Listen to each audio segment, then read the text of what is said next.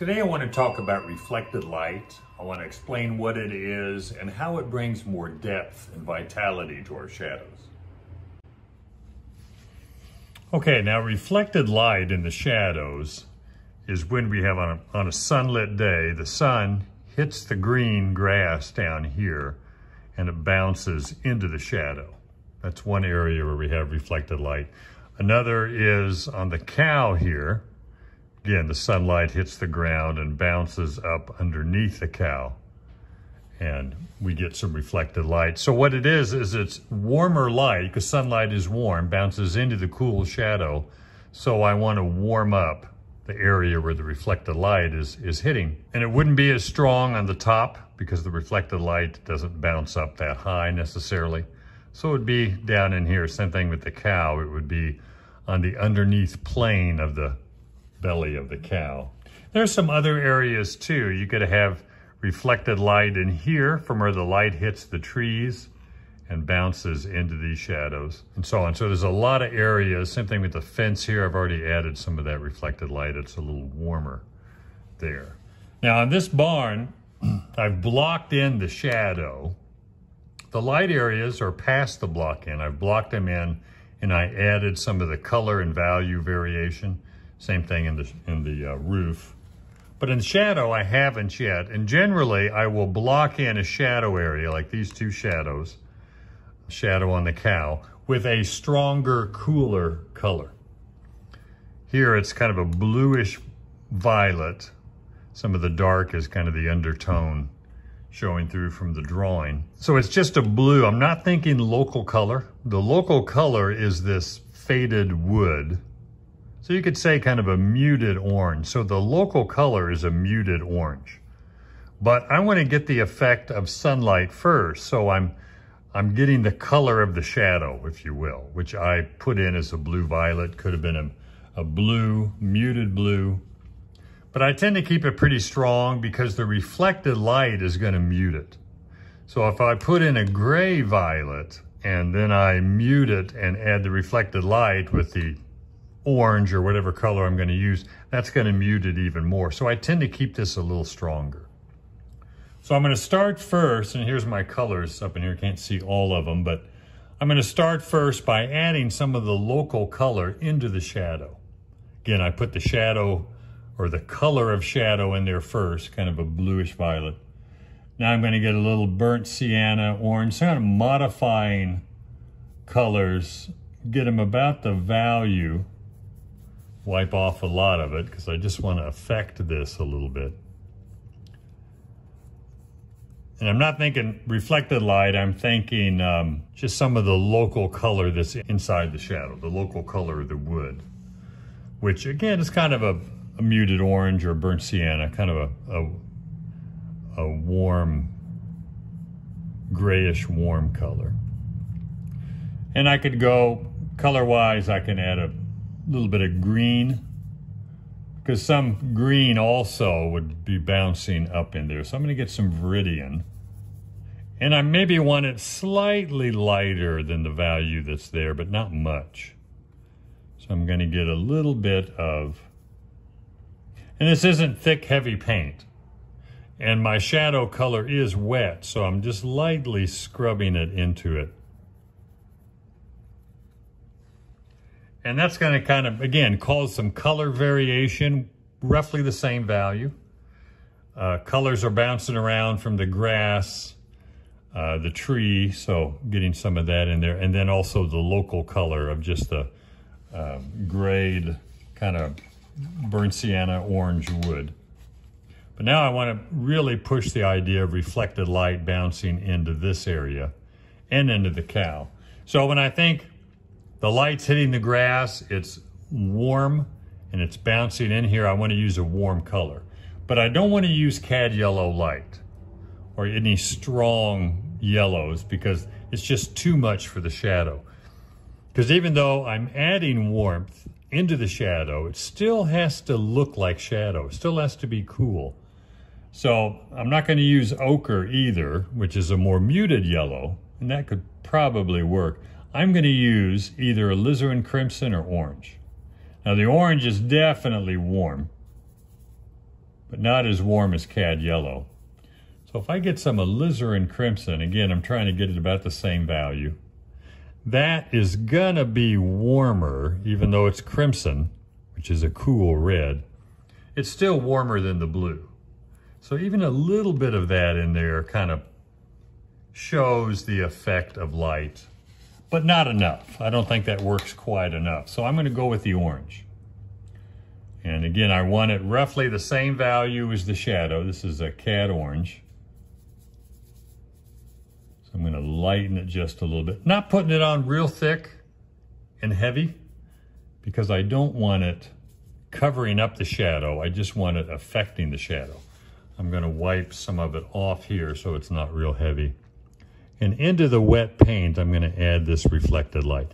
Now it is a little lighter than the shadow, but it has to be dark enough to stay in the shadow. Then as I go up, it's just gradually going to disappear. And there's not enough, it's not maybe strong enough to warm up the shadow way up there. Now the shadow is still cool. It's just a lot warmer than it is up in here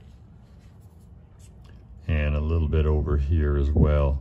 Again, don't have hardly any on the brush and I'm lightly just kind of scrubbing it in.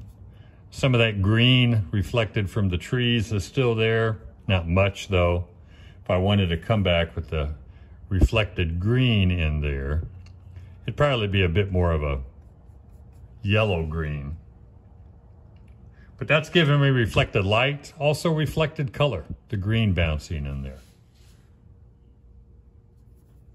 And again, the blue violet, the color of the shadow is still wet.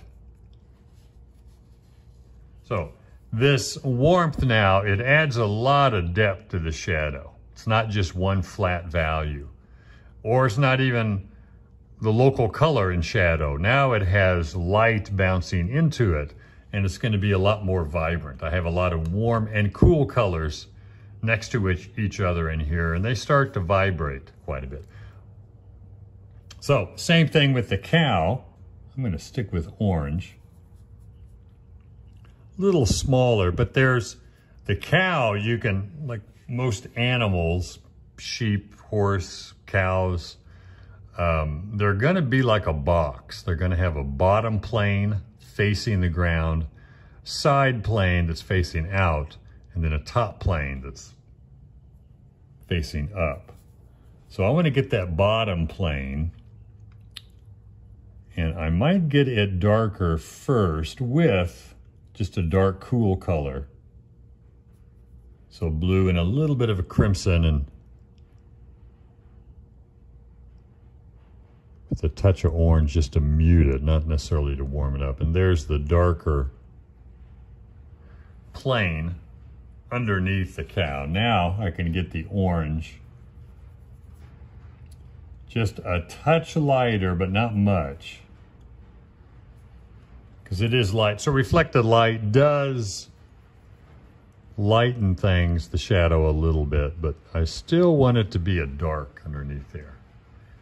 And it might be a little too dark, so I'm going to lighten it a bit more. I do have a little bit of violet in the orange, so it just doesn't real strong. But it's that underneath plane that's catching that reflected light. And there's kind of a plane that angles down on the sides there that can also catch a little reflected light. I don't know, this looks more like a pig than a cow, but uh, I need to come in with the sunlit grass and cut into his bottom part of his head there just to shape him up a little bit. Um, now over here, it's not going to be as warm as that reflected light because it's further back. So I'm going to add a little bit of the green to yellow green. Again, roughly same value, touch lighter maybe.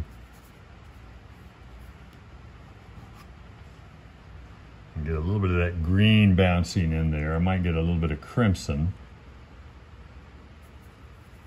Again, I'm probably not going to use much orange because it's just not that close to the sunlight.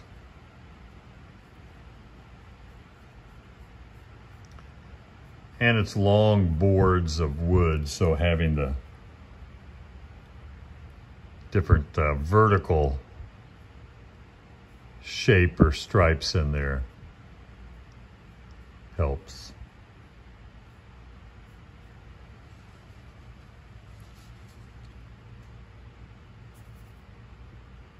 And these barns aren't very dark. You can see they're not white, but it's a faded wood.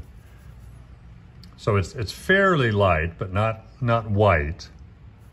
Um, so the shadows can't be real dark either. And these are a little too dark over in here. So again, just a muted blue or blue violet, blue with a little burnt sienna, or blue and crimson with a little bit of orange or burnt sienna and just lighten up these shadows slightly. And again, some light bouncing into here because this is closer.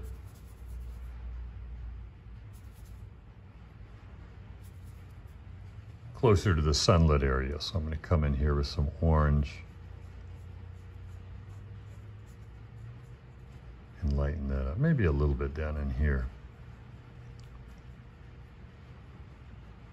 but I want the most here in the front barn because it's right next to the sunlight. So I might even come in here and add a bit more. But I'm also looking for color variation, especially in light shadows, light snow, light barn, uh, white cow. Uh, in the shadow, you're gonna have more color variation. Now, the darker the shadow, like inside the barn or inside here, you're not going to have a whole lot. Uh, there's also going to get some darker orange and a little bit of crimson. There's some light hitting here in front of the entrance and bouncing up into here. So I'm going to warm up the shadow in there as well. But again, cad yellow light, yellow ochre, I think are a bit too light and um, strong of a warm color to be used as reflected light. And I do like the vibration of, of leaving some of that brighter, cleaner blue to blue violet here next to the more muted blue and also to the orange and the variations of green in there. So that vibration, warmth creates a lot of depth and interest in the shadow that isn't there when you just use one value and uh, one color. I hope that was helpful. And if you want to see more on uh, how to paint light, watch this next video uh, suggesting light with color temperature.